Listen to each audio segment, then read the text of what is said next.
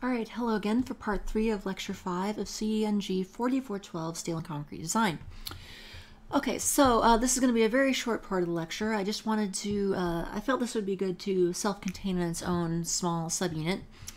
Okay, so uh, as we go through this, as we go through this class, we are, uh, at least for uh, steel design, we're going to see, uh, well, for both steel and concrete, we are going to see many different things as we go through the semester. However, um, uh, it's what we have time to go through in class, even what I have time to put to, even what time I have to put together on these videos. Um, often students are uh, left wanting more examples. What they, uh, it always helps to see more examples, more way to work things out. Uh, examples, examples, examples. You can never have enough examples.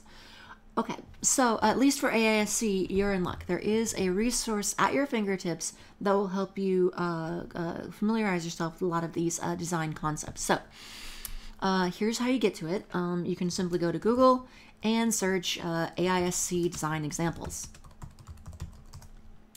And uh, the website you want is this here, AISC slash global assets, etc. Don't even need to log. Don't even need to log into Canvas for it.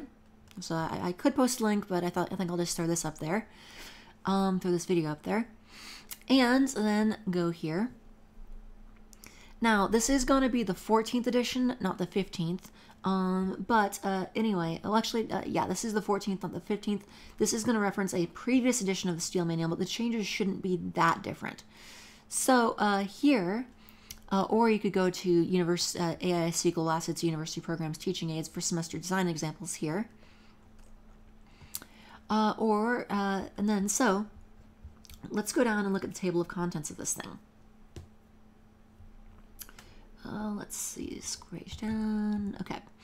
So what do we have here? Notice we have all of these uh, numerous design examples, um, such as members of tension, such as uh, compression, flexure, shear, etc. So um, this is going to have numerous examples, uh, worked out long form examples, uh, like the ones we go through in class for designing various tension, compression members, etc. So let's go down to say D1 here.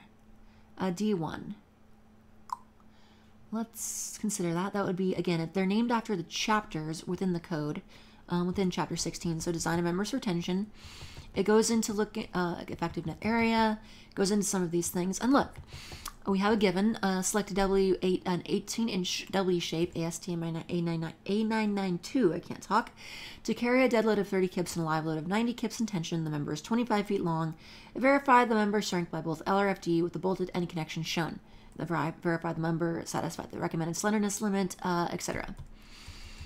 And you can see that as well. We haven't covered slenderness yet. Um, that's uh, something we might get to uh, early uh, later on. But and you can see as uh, as they walk through the various uh, calculations. So, um, and that's really what we're doing in class. Although you know in a video it's a little bit more helpful perhaps but uh, that's the general idea. So as we work through this, uh, if you need more examples uh, for working through things, more than we can do in class, I really would suggest you go through this, uh, look through this. It's going to be a great resource. This There are just dozens upon dozens upon dozens of examples. It's a total of 125 pages of various steel calculations. So uh, this can be a useful tool in you in, uh, for, uh, for you as you study through at least the steel portion of this semester. All right, Again, I told you this would be a very short portion of this video, so thank you.